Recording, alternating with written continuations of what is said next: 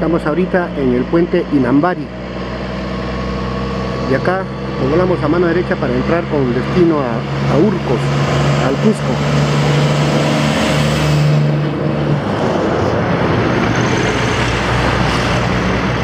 A ver, vamos a ver. Dios mediante que todo salga bien.